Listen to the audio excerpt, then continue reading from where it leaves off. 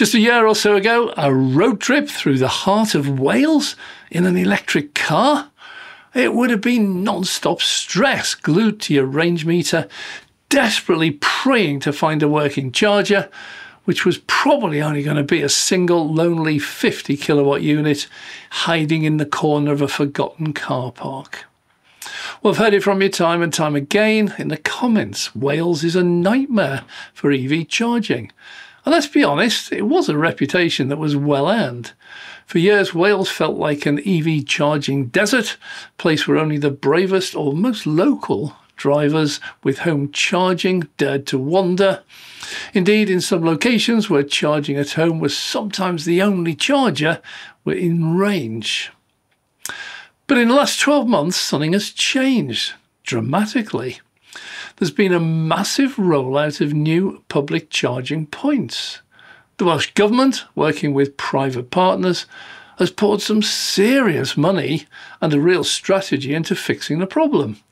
The numbers are staggering a 25.7% surge in public charges just one year. So, is it all talk and statistics? Well, we've been out on the road in the last few months in Wales, in Black Knight, my trusty but old Model S, to find out if range anxiety in Wales is finally a thing of the past. Well, it's easy to forget what it was really like. This feeling wasn't just range anxiety, it was infrastructure anxiety.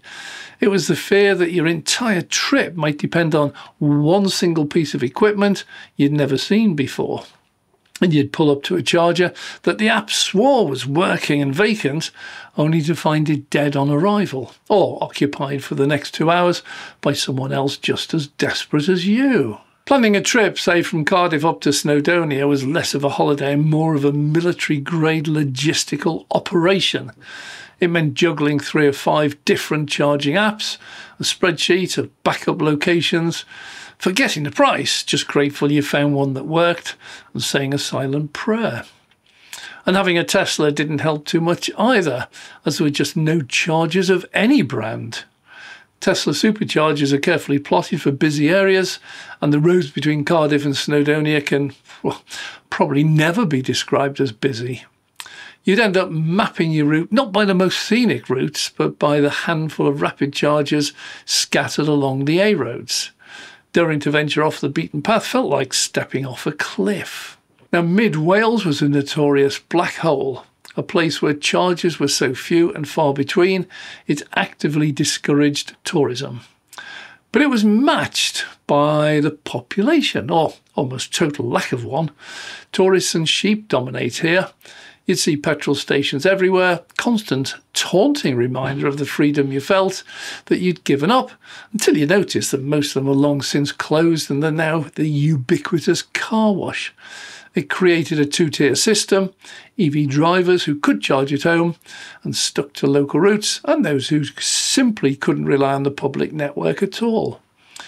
Many of you shared stories of being stranded, cutting trips short, and the sheer stress of it all. That was the reality.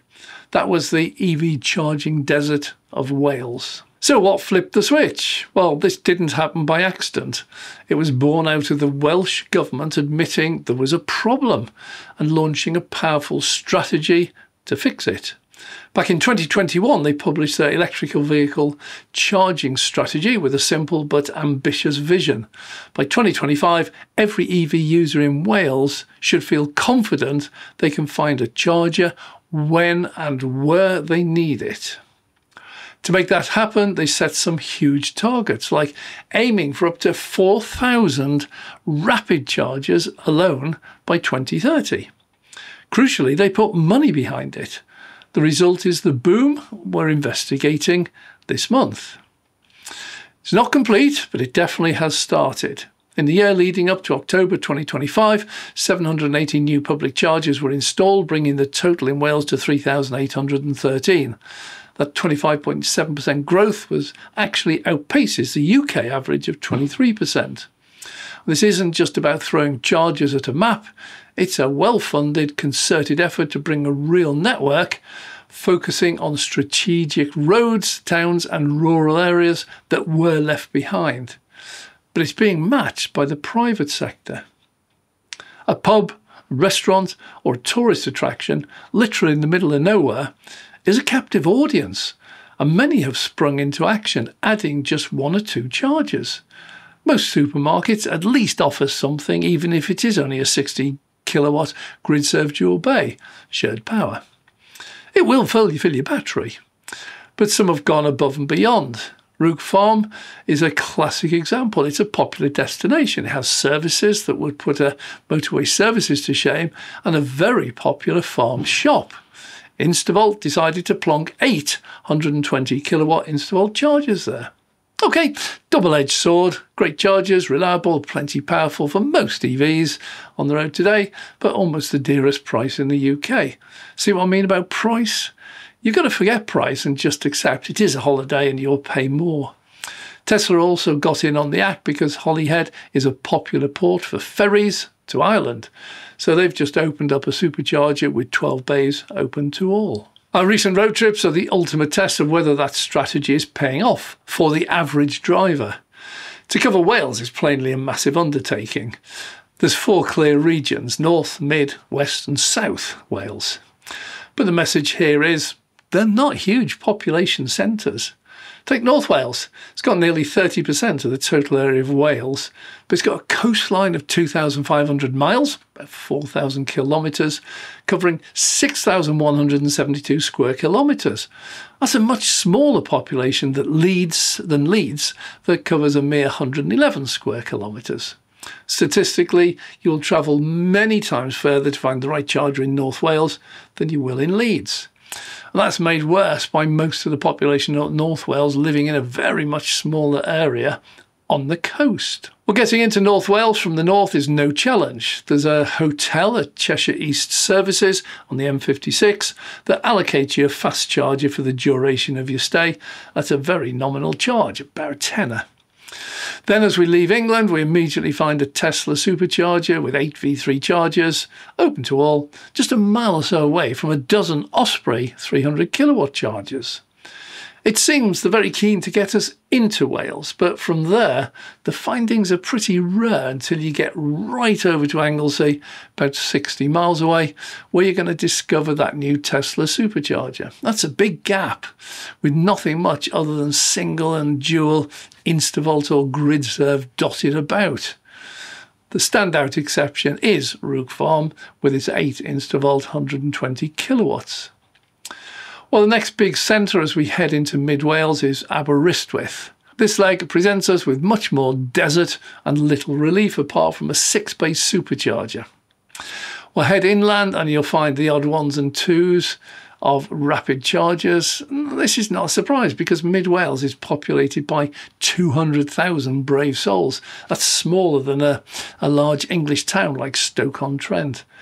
But despite this, the Welsh Government has set a target of a series of rapid or ultra rapid chargers no further apart than 20 miles. There is some significant movement over in the east of Wales, right up against the English border in Welshpool, where Tesla is installing a massive 16 bay supercharger. But that's many months away yet. West Wales is a little better with a massive area and a population similar to Leicester. GridServe give up almost as soon as you leave Swansea with four 360 kilowatt CC2 chargers and a couple of CHAdeMOs. Tesla goes further to Carmarthen with 12 250 kilowatt. Only Instavolt heads right across uh, to, uh, they've got 420 kilowatt. All the rest are just singletons and doubles. But South Wales does the country proud. Far too many to list individually, but then it has a population of 1.3 million. That's bigger than Manchester and Liverpool combined. And here it is, what I call progress. This isn't a single sad looking charger anywhere. anywhere. These are multiple locations with multiple CPOs on the same site, like Sarn services on the M4 with Tesla and Applegreen. In fact, Tesla has five superchargers in South Wales, most shared with other CPOs. Pogo Charging and Applegreen battle it out to get the most number of chargers, with 16 seeming to win the day. The cost is pretty standard, and paying is simple just tap a card. No app, no membership, no hassle. This is the convenience we were promised all along. A year ago, uh, I might have had to queue for a single 50 kilowatt unit here. Today, I might have a pick of 6, 7, 8, or 10 ultra rapid bays all empty. It's a night and day difference. Have you noticed this explosion of charges in your area, whether in Wales or somewhere else? More importantly, has it been enough to cure your own range anxiety? Drop your story in the comments below. And if you're finding this journey useful, quick tap on the like button is a huge help. It tells me you want more videos like this. Once again, however, like North Wales, the locations are mostly coastal and heading into the valleys, it's much more of an adventure. They are out there, but they're few and far between the rollout hopefully has not finished rolling out. Well, we have ignored for the moment the fast chargers, but here there's been a massive improvement. Like Rhyl, North Wales, uh, it's got 32 fuse fast chargers in a car park and a bigger expansion down south with networks like Clenergy. Well, these are just simply too numerous to explore on a Welsh wide review. So, are we there yet? Has Wales succeeded? Well, not quite. While the 3,813 public chargers now in Wales are a huge leap forwards, the government's own strategy says up to 4,000 rapid chargers, not fast, rapid alone, might be needed by 2030. We're not there yet. The Welsh Government has been focused on getting rapid chargers roughly every 20 miles along all the major trunk roads by 2025 this year. And from what we've seen, they're making incredible progress on that. But demand is soaring. The new 650 million electric car grant has already helped over 25,000 drivers across the UK to make the switch. So the number of EVs on the road is climbing steeply. The infrastructure needs to be not just to catch up, but stay ahead of the curve. Reliability is also everything. It's not just about having chargers, but making sure they actually work when you pull up. What is encouraging is that the support is coming from all angles. There's the UK government's £381 million plan to support thousands of additional public charges. There's a dedicated £25 million fund to help local councils install on-street charging solutions for people without driveways. And there's continued investment in those clever off-grid solutions we saw in the mountains. So while the network isn't perfect, the foundations for a truly comprehensive system is now firmly in place the momentum is undeniable. So, has range anxiety in Wales really been cured? I'd say for the vast majority of our journeys, yeah, it probably has. Situation has been utterly transformed. The charging desert is officially in the rearview mirror.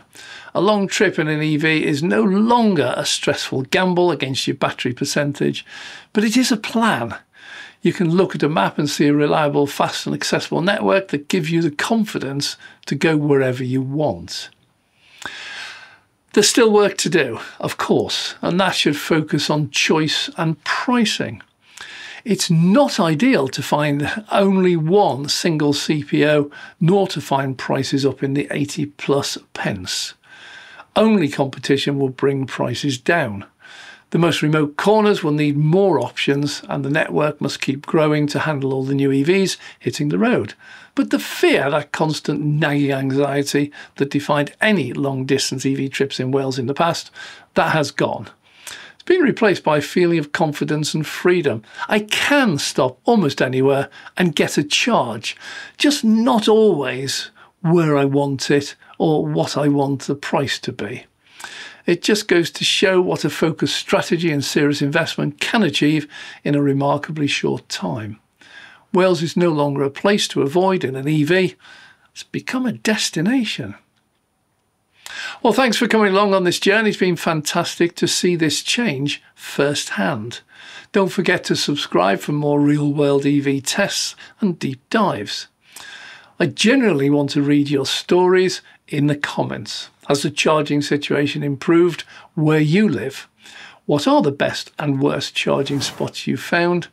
Let's share our knowledge and let me know where we should drive next.